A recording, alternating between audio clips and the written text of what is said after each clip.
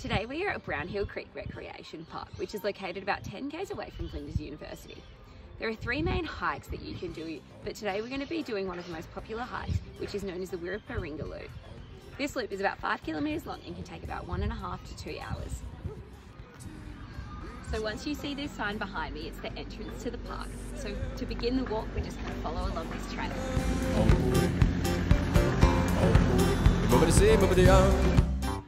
Just keep following the trail until you hit this bridge behind me.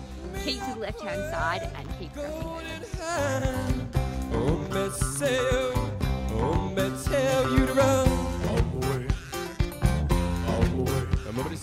The Wirraparinga Trail has many different creek crossings along the way, so make sure you take your time and be safe when you're crossing.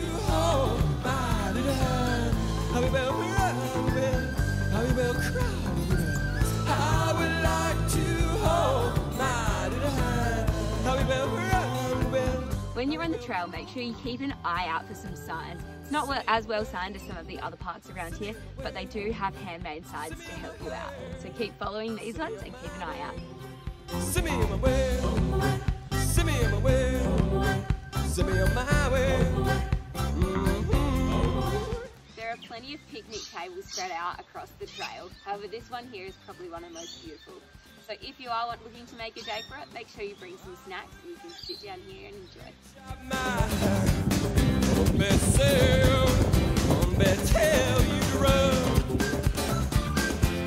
The Brownhill Creek area was once a favourite camping, hunting and gathering place for the Aboriginal Kaurna people. So while you're here, ensure that you're being respectful of the land and the traditional owners of past, present and emerging. Also, while walking, take some time to just admire its beauty.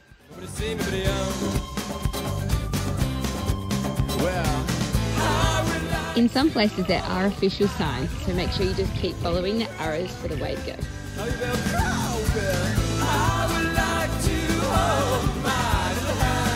This next section of the trail is a little bit confusing, but you'll definitely make it if you follow these instructions.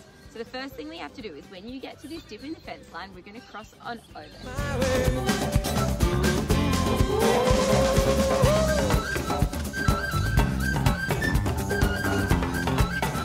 So once you've crossed the fence, you'll reach this sign here. Make sure that you follow this way that says Brownhill Creek Road because you don't want to be walking the wrong direction. As well as the beautiful scenery, there's also many opportunities along this hike to read about some of the beautiful history that's been preserved here by the Mitcham Council.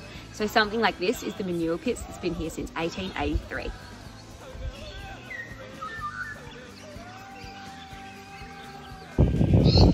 Once you hit the manure pit, it's the end of the Wirraparinga Trail. This means it's time to turn around and start heading back. So from here, you can either head back the direction that we just came from, or you can follow the path across the road and it will take you back the way that we came. Just make sure you look out for cars when crossing.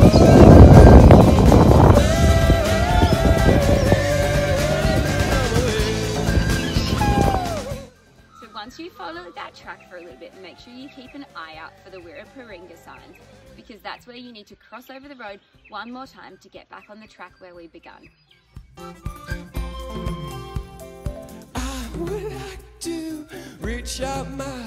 my personal opinion, here at Brownhill Creek is one of the most beautiful walks we have available here in Adelaide. We're super lucky that Flinders University is super close to us and it's easily accessible. So come on down and try it for yourself.